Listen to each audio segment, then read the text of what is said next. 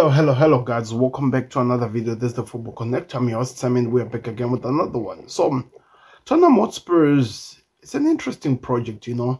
The fact that Ange Postecoglou came out in the beginning of the match and is like, in the second season, we win something. And it's something that I'm not even refusing. I have a feeling that they might win either the FA Cup or maybe the Carabao Cup. They have to win something. Tottenham Hotspurs hasn't done that for such a long time. But when we come to talk about that first game, before I even go anywhere far, please do me a favor, click the like button because what I'm about to talk about is a, a very interesting but also worrisome if you're a Tottenham Hotspurs fans. Because I don't think Leicester were that good, you know. I don't think they were that good.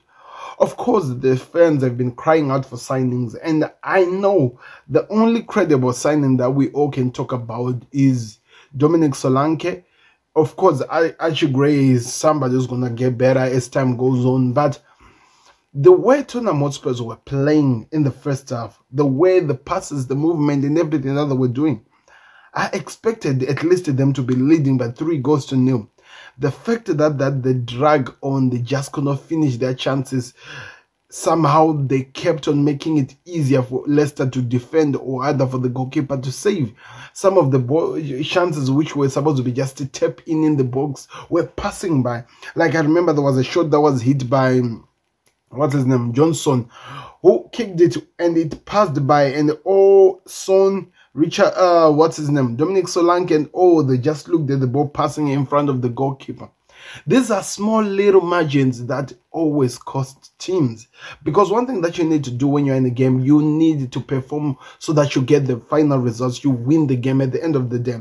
And that's not what I've seen from Tottenham Hotspur at the moment.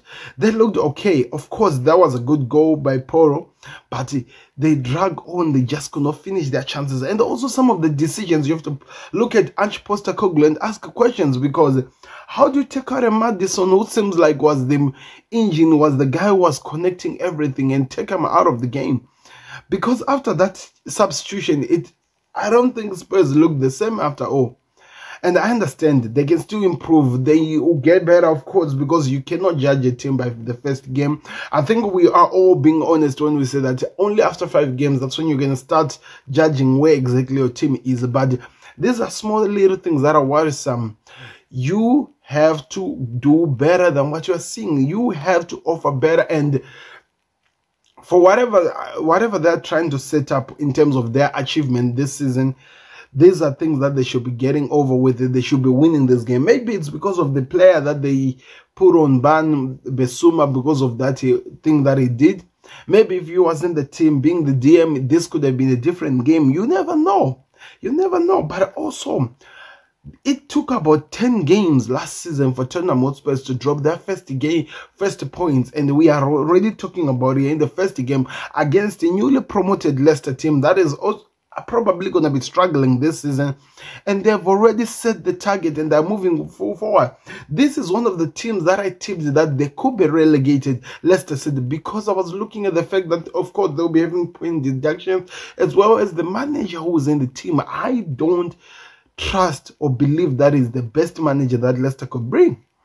Yet I'm here again talking to you, confused how the team that I put in the top four could not get the job done by the team that has just been promoted. How does that even make sense?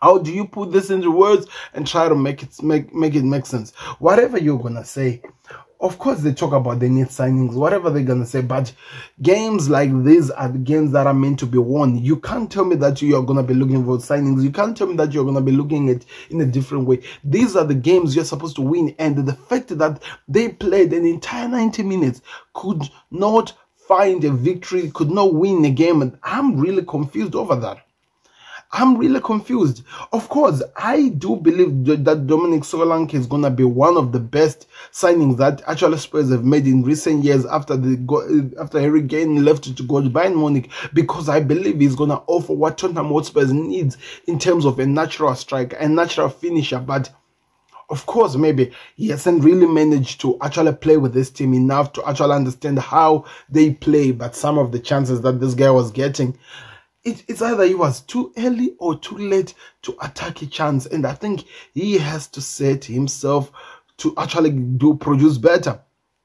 There were more times I actually watched the Tottenham Hotspurs playing in the 18 area of this Leicester team time, but they still could not break it down at the end of the day. And that's are the small things that you have to worry about.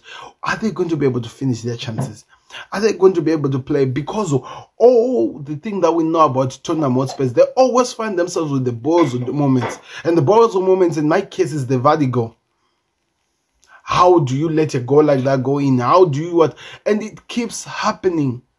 They're a good team. Romero, according to stats, is the best defender in the Premier League, by the way. Better than Virgil van Dijk, according to what I've been told. According to all the stats that are put out in what he offers as a player. Yet, they still cannot get the job done. And that's the most important thing.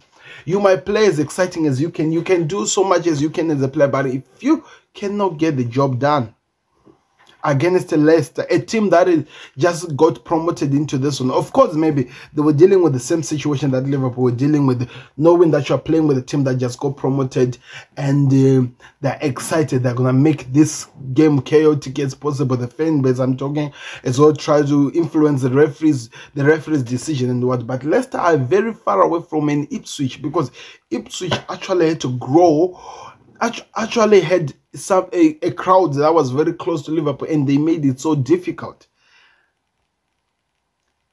Tottenham Hotspurs were not playing that bad, even though after all. They were not playing that bad. If you go look at the game, if you go watch how they played, they were not playing that bad.